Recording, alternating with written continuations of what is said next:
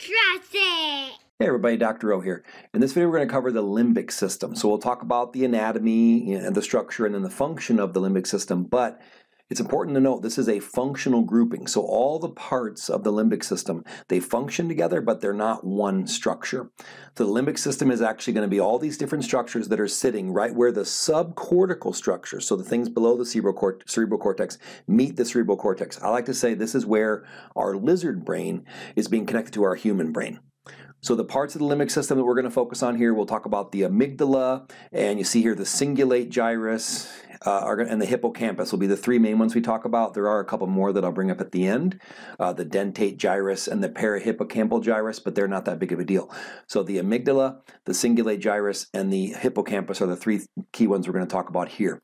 So what does it do? This uh, I like to look. I like to think of it this way: the limbic system is what gives our emotions and our fear so much power because it's the part of the brain that's involved in um, our uh, behavioral and emotional responses, especially especially with things that are really important for survival. Think about things like um, the fight or flight response, caring for our young, um, feeding, reproduction, those kind of things.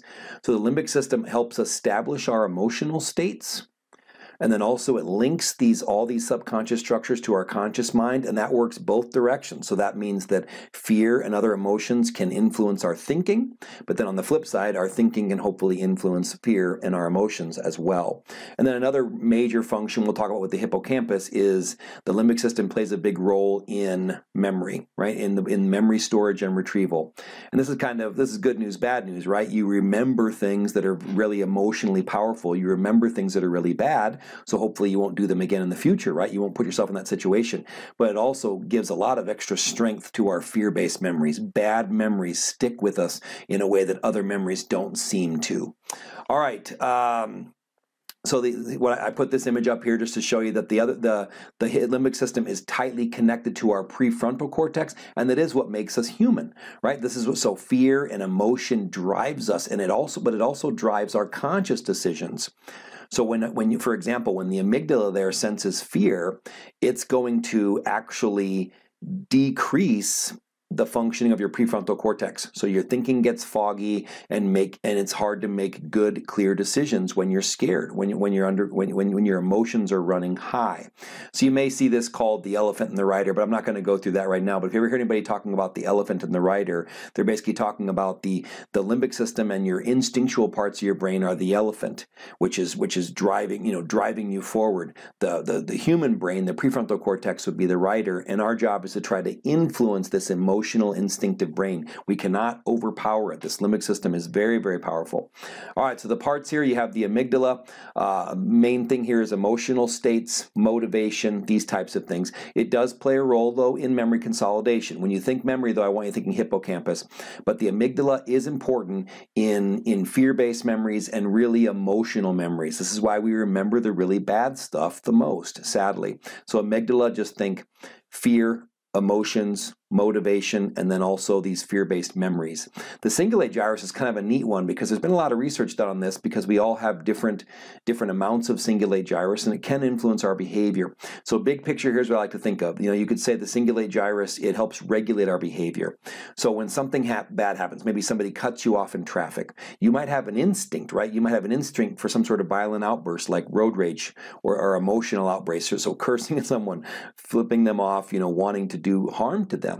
Well, those those initial impulses strike us all, but then as this information travels through the cingulate gyrus, your other the other parts of your brain get to weigh in, like, oh, you wouldn't really like it in prison, and you don't want to leave your family, and you really don't want to hurt somebody over something like that. So this so while information travels through the cingulate gyrus, it helps to regulate be, your behavior. So if your cingulate gyrus works well, is functioning well, then you'll be less impulsive, you'll be less prone to violent outbursts.